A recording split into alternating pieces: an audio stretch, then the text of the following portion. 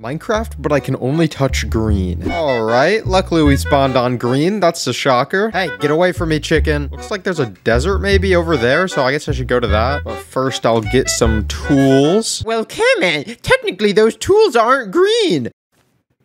Anyways, I don't know if this water counts as green, but I'll just play it safe. Oh, is this just a beach? Wait a second, why would I go to the desert anyway? I can only touch green. I guess there's a jungle, maybe I can find a temple? Parkour! Is that a temple? I don't have Optifine?